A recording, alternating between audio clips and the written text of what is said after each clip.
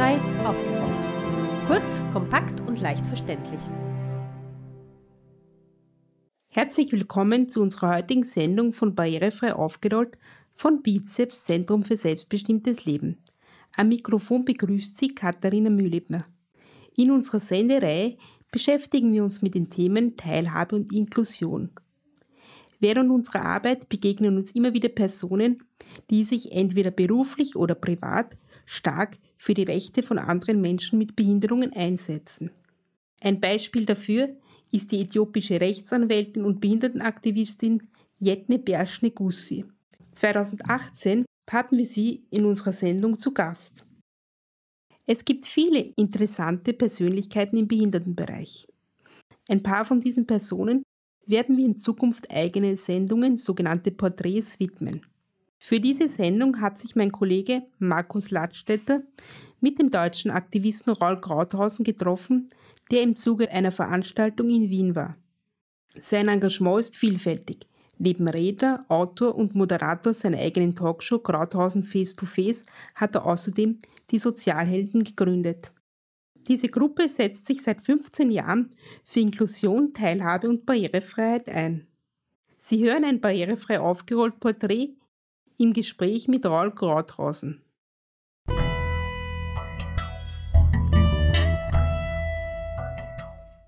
Wie würden Sie sich beschreiben und wer ist Raul Krauthausen? Raul Krauthausen ist ein ungeduldiger Mann, der 1980 geboren ist, äh, im Rollstuhl sitzt und seit, ja, ich würde sagen, ungefähr 15, 16 Jahren sich äh, für die Rechte von Menschen mit Behinderung in Deutschland einsetzt und mehr oder weniger zu diesem Thema gekommen ist ähm, durch Zufall, weniger durch Plan. Es gibt ja das Wort Behindertenaktivist. Sehen Sie sich eher als Behindertenaktivist oder politischer Aktivist, beziehungsweise gibt es da überhaupt einen Unterschied? Ich würde gerne mich einfach als Aktivist bezeichnen, der sich für die Rechte behinderter Menschen einsetzt, weil Behindertenaktivist, das ähm, würde mich schon wieder so in eine Ecke stellen, äh, dass ich mich praktisch nur für Menschen mit Behinderungen einsetze, weil ich selber eine Behinderung habe. Ähm, aber ich beobachte, je länger ich mich in diesem Thema tummle, äh, dass es unglaublich viele Schnittmengen gibt mit anderen Minderheiten in unserer Gesellschaft oder unterdrückte Gesellschaftsgruppen, ähm, so dass ich mich vielleicht auch zu denen zählen würde, ähm, wenn ich zum Beispiel auch eine Frau wäre oder auch einen Migrationshintergrund hätte. Habe ich aber nicht, deswegen setze ich mich vor allem für behinderte Menschen ein. Aber sehe sehr viele Gemeinsamkeiten. Wie sind Sie zu diesem Themenfeld genau gekommen? Also Sie haben erzählt, Sie sitzen im Rollstuhl. Äh, war das für Sie dann von vornherein klar, dass Sie sich in diesem Themenfeld ähm, betätigen wollen? Nee, überhaupt nicht war das klar. Ähm, ich habe ganz normal studiert, bin ganz normal auf eine, auf eine Schule gegangen, wo Kinder mit und ohne Behinderung gemeinsam beschult wurde. Ich hatte eine tolle Kindheit, ich hatte eine tolle Studienzeit und ähm, habe erst sehr spät realisiert, dass meine Laufbahn ähm, gar nicht so typisch war wie die Laufbahn vieler anderer Menschen mit Behinderung in Deutschland.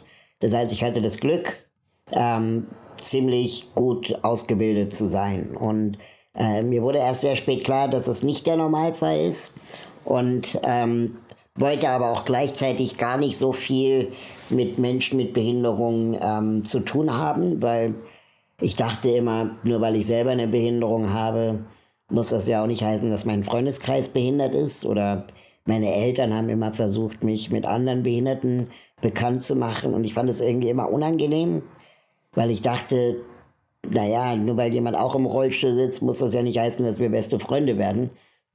Und habe mir meine Freunde eigentlich eher nach äh, Interessen ausgesucht. Und ähm, habe bis zu meinem 27. Lebensjahr keine behinderten Freunde gehabt.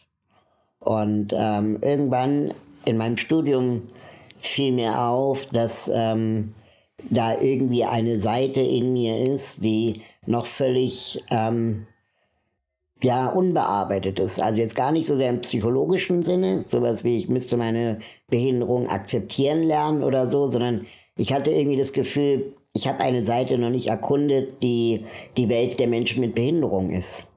Und ähm, habe dann meine Diplomarbeit geschrieben über die Darstellung behinderter Menschen im deutschen Fernsehen.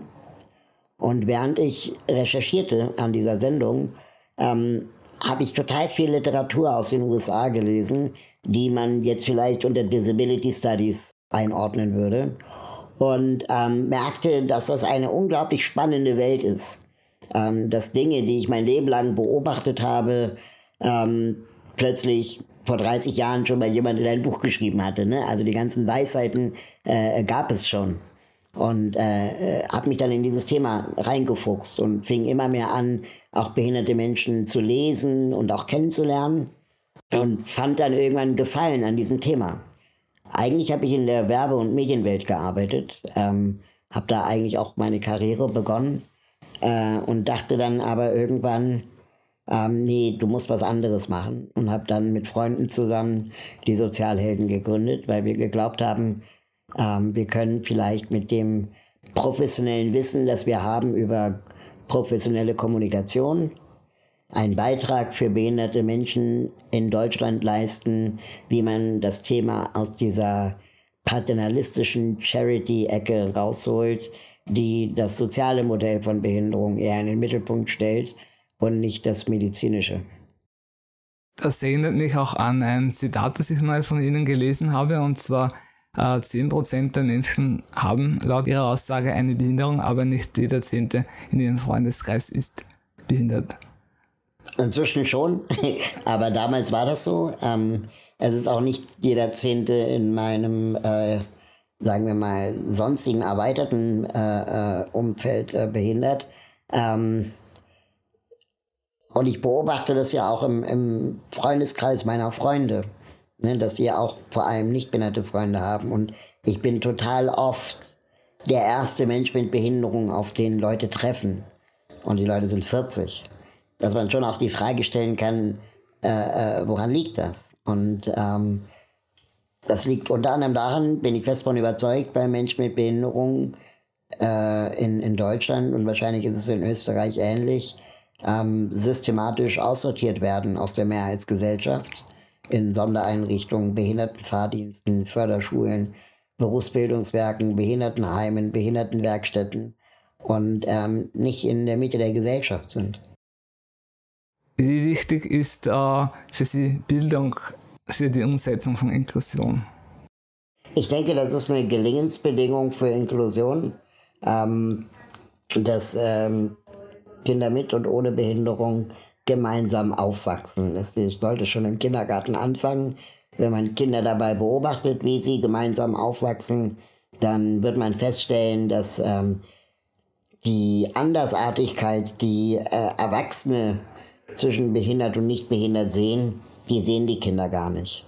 Die sind vielleicht am Anfang interessiert und neugierig, aber nach spätestens drei Stunden hat sich das für die irgendwie zu der neuen Normalität äh, entwickelt. Und ähm, es ist super schön, Kinder dabei zu beobachten, äh, ähm, wie sie miteinander spielen und auch umgehen, völlig unabhängig davon, ob jemand weiß, schwarz, behindert oder nicht behindert ist. Ähm, und wenn Kinder das von der Pike auf lernen, dann wird es ihnen später im Erwachsenenalter auch weniger schwer fallen, ähm, auf ihn oder sie später zuzugehen, ähm, wenn er oder sie eine Behinderung haben. Ich finde es mühsam und müßig in Deutschland zumindest immer wieder neu zu diskutieren, ob Inklusion an der Schule gelingt oder nicht, weil wir werden in diesen Debatten immer genug Fälle finden, wo es gelingt oder nicht gelingt. Beide Seiten. Und das hilft uns nicht weiter. Ähm, wir werden auch genug Fälle auftreiben können, garantiert, wo Jungs darunter leiden, dass Mädchen in der Klasse sind und Mädchen darunter leiden, dass Jungs in der Klasse sind. Aber wir haben uns nun mal gesellschaftlich dazu entschieden, dass Jungs und Mädchen gemeinsam beschult werden sollen.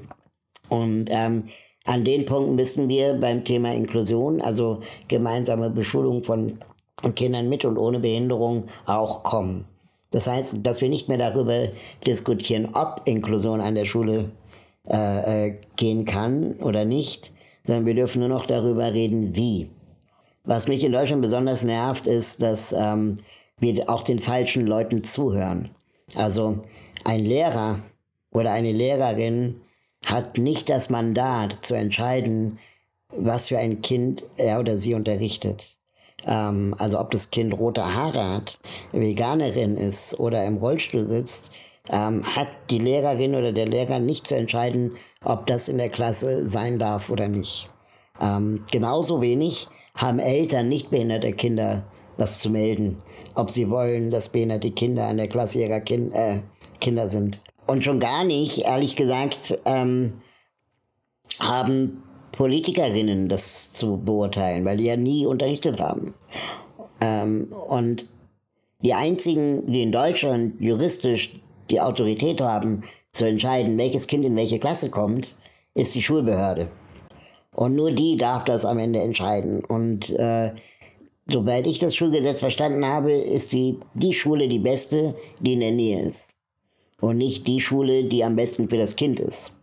Würden wir danach gehen, würden wir in ganz Deutschland die Kinder hunderte Kilometer durchs Land fahren, um die vermeintlich beste Schule für das Kind zu finden. Aber eigentlich ist die Idee, dass die Schule in der Nähe die Schule für die Kinder ist. Und da müssen wir die Frage stellen, wie kann eine wohnortnahe Inklusion gelingen, ohne dass wir Kinder kilometerweit durchs Land fahren müssen, damit sie die richtige Schule finden. Es stellt die Systemfrage. Es stellt die Frage, können wir die Schule den Kindern anpassen? Oder, und so ist es im Moment, wollen wir wirklich die Kinder der Schule anpassen? Und ähm, ich denke, wir müssen die Schule so bauen, dass sie auf die Bedürfnisse aller Kinder eingehen kann. Und das schließt Kinder mit Behinderung mit ein. Ich würde gerne auch mit so ein paar Mythen mal aufräumen, wenn es um das Thema Inklusion geht. Also es wird zum Beispiel ständig gesagt, äh, dass Lehrerinnen und Lehrer ähm, erst ausgebildet werden müssen, so bevor sie Kinder mit Behinderung unterrichten können. Da muss ich leider sagen, es wird kein Superreferendar aus der Uni kommen, der alle Behinderungen gelernt hat. Es wird es nicht geben. Weil A gibt es so viele Behinderungsformen, das kann man gar nicht lernen. Und B ähm, ist die Annahme dahinter auch falsch. Also Eltern behinderter Kinder waren vorher auch nicht ausgebildet, sondern sie sind einfach Eltern behinderter Kinder geworden. Und jetzt darauf zu warten, dass wir erstmal alle Lehrer ausgebildet haben, bevor sie Kinder mit Behinderung unterrichten dürfen, ist eine, letztendlich eine Hinhaltetaktik. Und ähm, ich äh, denke, dass gerade bei Kindern wir sehen müssen, dass es sich hierbei in aller allererster Linie um Kinder handelt und nicht um Behinderte. Das heißt, ich als Lehrerin, die gerne Kinder unterrichtet, ähm, muss doch so viel menschlichen Verstand haben, zu sehen, dass das Kind mit Behinderung ein Kind ist und genauso ein Bedürfnis nach Spielen, Lernen und Freundschaften hat. Und völlig egal, ob es ein Arm, drei Arme, fünf Arme, äh, einen Rollstuhl hat oder gehörlos ist oder einen Muskelschwund oder eine Nussallergie hat. Ja? Also das ist, ähm, in allererster Linie ist es ein Kind. Und dieses Potenzial zu sehen, das ist die Aufgabe der Lehrerinnen und Lehrer und nicht die ganze Zeit mit einer Diagnostik rumzurennen. Der zweite Mythos, den es natürlich gibt, ist, dass wir glauben, im Diskurs, wenn man die Debatte sich anguckt äh, über Inklusion in der Schule, ähm, dass Kinder mit Behinderungen untergehen könnten im Regelunterricht. Ist ja auch so ein Mythos. Ne? Könnten gemobbt werden von den nicht behinderten Schülerinnen ähm, oder sie würden nicht schnell genug im Unterricht mitkommen. Das wäre ja auch frustrierend. Ähm, und deswegen müssen wir die Kinder mit Behinderungen schützen vor diesen Niederlagen in Fördereinrichtungen. Ähm, und dann geht es ihnen dann besser. Das ist das Narrativ. Aber in Wirklichkeit schützen wir die Mehrheitsgesellschaft davor, sich mit dem Thema Vielfalt und Behinderung auseinanderzusetzen. Mit dem Schutzargument der Schwachen schützen wir eigentlich die Mehrheitsgesellschaft. Und Mobbing kommt in jeder Klasse vor. Mobbing gibt es auch in Förderschulen. Da mobben sich die Behinderten untereinander.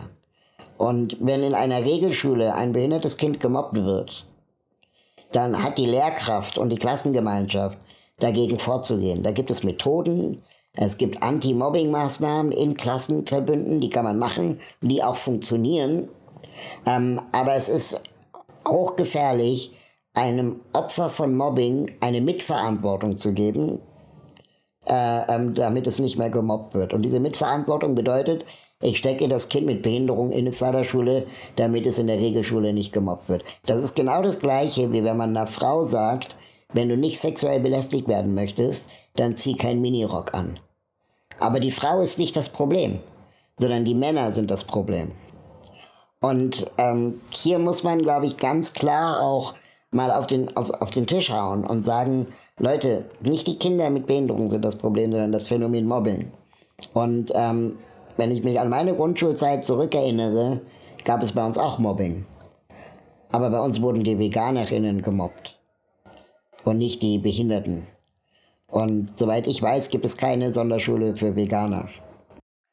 Welche Dinge sind denn für Sie am zentralsten, wenn es um die Teilhabe von Menschen mit Behinderungen geht? Ich finde ja das Motto der Behindertenbewegung nichts über uns ohne uns ähm, ist äh, nach wie vor eines der wichtigsten Aussagen. Ähm, die gelten heute immer noch sehr stark oder gilt heute immer noch sehr stark, weil ich beobachte noch viel zu viel, dass nicht behinderte Menschen urteilen, was Menschen mit Behinderung zusteht. Ähm, dass sie Grenzen ziehen, da wo vielleicht noch gar keine Grenzen sind, sondern sie einfach sich selber das nicht vorstellen können, dass eine Rollstuhlfahrerin auch Tischlerin werden kann. Das, können die sich nicht vorstellen. Und dann sagen sie, das geht nicht. Ähm, und äh, äh, dann stößt mir zunehmend auf, dass gerade in dem Bereich äh, Inklusion sehr oft nicht behinderte Menschen sagen, dass behinderte Menschen ja so inspirierend sind und so, äh, so viel Kraft geben und man so viel von ihnen lernen könne und so. Ähm, wo ich dann sage, Menschen mit Behinderung sind auch nicht dafür da, damit nicht behinderte Menschen sich gut fühlen. Also ich möchte nicht, dass andere sich durch mich inspiriert fühlen. Äh, ich möchte auch nicht, dass andere äh, von mir mehr lernen, als sie von anderen lernen, nur weil ich im Rollstuhl sitze. Und ich möchte einfach ähm, den gleichen Respekt bekommen und auch die gleiche Wertschätzung erfahren wie nicht behinderte Menschen auch. Was dann nämlich auch am Ende dazu führt, dass die Leute dann vielleicht auch mich endlich als den Menschen sehen und vielleicht auch das Charakterschwein in mir entdecken können, äh, weil ich ja vielleicht auch ein super ungeduldiges Arschloch sein kann. Ähm, aber niemand traut sich mir das zu sagen, weil ähm, der ist ja behindert. Dann komme ich schon zu ein paar letzten Fragen. Sie stehen zwar oder sitzen mitten im Leben. Äh, wie sehen Sie den Nachwuchs äh, bezüglich äh, politischen Aktivismus von und für behinderte Menschen in Deutschland? Gibt es da genügend Junge, die sich dafür interessieren? Als wir 2016 in Deutschland gegen das Bundesteilhabegesetz protestiert haben und gegen äh, das Behindertengleichstellungsgesetz in Deutschland. Ähm, da hatte ich äh, mit vielen anderen Aktivistinnen und Aktivisten älteren Semesters äh, Kontakt und ähm, wir haben große Proteste organisiert. Wir haben, glaube ich, sehr viel mediale äh, Aufmerksamkeit erzeugt. Ähm, und äh, die älteren Aktivistinnen und Aktivisten haben mir damals gesagt, dass sie ähm, gerade Zeuge wurden von einem Wiedererwachen, Wiedererstarken, Auf, äh, Aufleben der Behindertenbewegung äh, seit 20 Jahren. Also wir haben groß, eine große Welle gemacht. Und äh, ich habe in der Zeit sehr viele Leute kennenlernen dürfen, auch junge Menschen mit Behinderung, die sich zunehmend politisiert haben, die das Gefühl hatten, ähm, da, so wie es jetzt passiert, ähm, ist es nicht genug. Wir müssen uns mehr für unsere eigenen Belange und Rechte einsetzen. Und dank der sozialen Medien und der Vernetzung dadurch habe ich zunehmend Kontakt zu behinderten Menschen, die jetzt alle noch so Einzelkämpferinnen sind, aber die jetzt, glaube ich, schon auch zunehmend merken, wir müssen uns mehr zusammentun und, und mehr vernetzen. Ich versuche auch zum Beispiel über den Newsletter, den ich regelmäßig produziere, äh, einmal die Woche, auch diesen jungen Menschen Sichtbarkeit zu geben und auch zu sagen, okay, hier sind hier ist eine junge Frau mit Trisomie 21, die ähm, äh, sich gegen die Spätabtreibung engagiert, beziehungsweise gegen den Trainertest. Ähm, äh, hier gibt es äh, eine junge Aktivistin mit Behinderung, die mal das Thema aus einer weiblichen Perspektive beleuchtet, nämlich das Thema Behinderung und Sexualität. Und das super wichtig ist, diese Leute sichtbar zu machen und ähm, politischen Protest zu formieren, braucht auch immer einen Anlass. Also irgendein Gesetzgebungsverfahren oder irgendeine Ungerechtigkeit. Und wir haben vor ein paar Monaten äh, gemeinsam für Markus Igel protestiert, damit er nicht ins Heim gezwungen werden kann vom Sozialamt. Und es war ein sehr erfolgreicher Protest mit Petitionen und allem. Und da waren viele junge Aktivistinnen dabei. Also ich bin sehr hoffnungsfroh. Und dann ähm, hatten wir, ähm, also mir schreiben zunehmend viele junge Menschen mit, mit Behinderung, dass äh, sie durch mich oder durch unseren Protest im 2016, auch mit dem Heimexperiment, das ich ja gemacht habe, ähm, Mut gefasst haben, dass es sich lohnt, für die eigenen Rechte zu kämpfen. Und es macht mir Hoffnung. Wenn Sie sich die Themen überlegen, die in den Anfängen der Behindertenbewegung relevant waren und an heute denken, wie sehr haben sich die Themenbereiche verändert? Also, um nochmal den Hut äh, zu ziehen vor dem äh, Kämpfen, die äh, die Generationen vor uns gekämpft haben. Äh, es ist großartig, was die erreicht haben. Ähm, alleine die Sichtbarkeit behinderter Menschen äh, in einer Zeit zu erkämpfen, ähm, wo, wo der Paternalismus noch super krass, äh, äh, krasser verbreitet war als heute, bedeutet ja richtig krasser Kampf auch. Und ähm, der Behindertenbewegung haben wir zu verdanken, dass äh, die Busse Niederflurbusse sind, äh, dass es Aufzüge an Bahnhöfen gibt. Das, das sind ja richtige Errungenschaften, die ich im wahrsten Sinne des Wortes in Zement gegossen sind. Ja. Ähm, die Themen Mobilität bleiben aber. Also es reicht ja nicht, einen barrierefreien Bus zu haben, es reicht auch nicht, äh, zwei, drei Aufzüge zu haben, sondern unser Ziel ist ja jetzt flächendeckende Barrierefreiheit und ähm, dass Aufzüge nicht ständig kaputt sind und äh, dass man nicht mit den kleinen Rädern eines Rollstuhls zwischen Zug und Bahnsteigkante der U-Bahn hängen bleibt. Das sind jetzt die Kämpfe, die wir führen. Ähm, dass die Deutsche Bahn oder die ÖBB ähm, barrierefrei ist und zwar nicht dann, wann sie will, sondern dann, wann Menschen mit Behinderung sie brauchen. Ja, also in Berlin gibt es immer noch Situationen, dass du um 22.01 Uhr nicht aus dem Zug kommst, weil das Bahnpersonal am Bahnsteig nur bis 22 Uhr arbeitet. Und das ist absurd. Also das ist so absurd, dass ähm, man denkt, ey, diese eine Minute hätte ja warten können. Ne? Also was soll denn das? Und ähm, dass diese, diese das Menschenrecht auf Mobilität zum Beispiel ähm, Menschen mit Behinderung immer noch verwehrt wird und sie zahlen aber den gleichen Preis. Und dann natürlich, ich weiß nicht, wie es in Österreich ist, dass ähm, Menschen mit Behinderung in Deutschland immer auch als immer noch als Kostenfaktor gesehen werden, also als Menschen, die Geld kosten und nicht als Menschen, die aber auch eine Gesellschaft bereichern. In Österreich ist ein großes Thema die sogenannte bundeseinheitliche, bundesweit gleiche äh, Regelung für persönliche Assistenz, die es nicht gibt. Wie sieht da die Situation in Deutschland aus? In Deutschland gibt es das sogenannte Bundesteilhabegesetz, wo ähm, man versucht hat, das auf einen gemeinsamen Nenner zu bringen, damit es nicht sowas gibt wie äh, so eine Art Behindertenmigration zwischen den Bundesländern. Ähm, Leider ist Deutschland auch föderal strukturiert, das heißt, äh, die Implementierung dieser Bundesgesetze in Länderebene ist dann jedem Bundesland überlassen, wer die Kostenträger sind und wie das Ganze abläuft. Und äh, es kristallisiert sich gerade heraus, dass je konservativer ein Bundesland ist, zum Beispiel das Saarland, wo eben der Markus Igel lebt, ähm, wesentlich kostenrestriktiver äh, äh, mit Menschen mit Behinderung umgeht und ständig drei, äh, jeden Euro dreimal umdreht und äh, dann auch Menschen mit Behinderung durch Beratung, ich sage es jetzt mal höflich, durch Beratung in Behindertenheime zwingt. Ja, also die sagen nicht, sie müssen ins Heim, äh, die sagen dann, na, pass auf, wir können dir das gleiche Geld geben, wie wir dem Heim bezahlen würden. Ähm, das wird nicht reichen für deine Assistenz zu Hause. Also du kannst ja gucken, ob du es hinkriegst. So. Und äh, dass äh, zu Hause leben teurer sein könnte als im Heim, ist irgendwie offensichtlich, weil du die Assistenten ja selber bezahlen musst. Ähm, ist aber auch letztendlich dein Grundrecht auf die freie Bestimmung des Wohnortes und der Wohnform, äh, was im Grundgesetz verankert ist. Ähm, gleichzeitig hast du aber keine andere Wahl, weil dir wird nicht mehr Geld gegeben und dann gehst du doch ins Heim. Und äh, nicht alle Menschen mit Behinderung haben die Kraft, da juristisch gegen vorzugehen. Und äh, das beobachten wir gerade, dass eben in vielen Bundesländern, die konservativ regiert sind, da versucht wird, ähm, Menschen zu zwingen.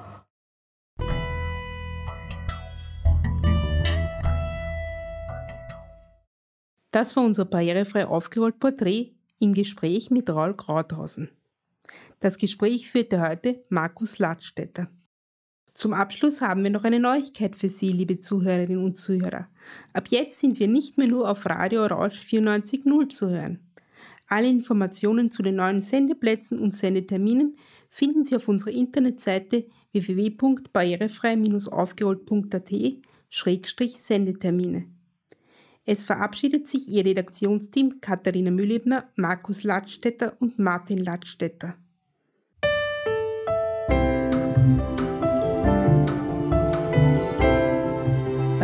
Barrierefrei aufgeräumt. Kurz, kompakt und leicht verständlich.